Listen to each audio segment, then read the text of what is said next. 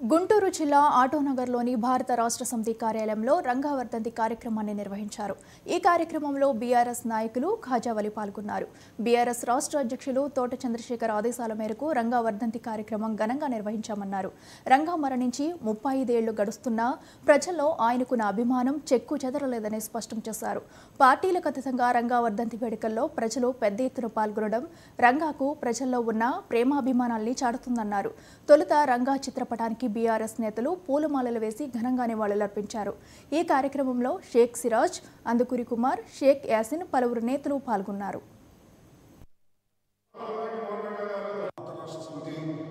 రాష్ట్ర అధ్యక్షుడైనటువంటి తోట చంద్రశేఖర్ గారి పిలుపు మేరకు స్వర్గీయ వంగవీటి మోహన్ గారి కార్యక్రమాన్ని రాష్ట్ర ప్రధాన కార్యాలయంలో నిర్వహించడం జరిగింది.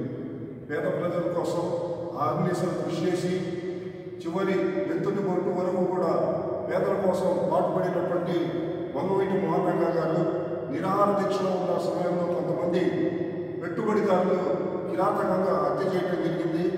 ఎనభై ఎనిమిది డిసెంబర్ ఇరవై ఆరున మంగవీటి మోహన్ గారిని కిరాతకంగా హత్య చేయడం జరిగింది. అటువంటి మహానీయుడు అందరూ కూడా స్మరించుకోవాల్సినటువంటి పరిస్థితి ఉంది. కుల మతాలకు అతీతంగా నిజమైనటువంటి పేద ప్రజల కోసం పనిచేసినటువంటి గొప్ప నాయకుడైనటువంటి రంగ గారి సేవల్ని